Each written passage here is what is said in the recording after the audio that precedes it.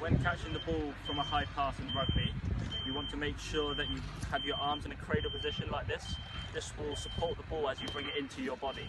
You also want to make sure that you know where the ball is going to come from in the sky, so you want to adjust your movement to see where it's going to come from. When it comes down, you want to bring your left knee up as well to support the ball and then bring it down. So this is what the skill will look like.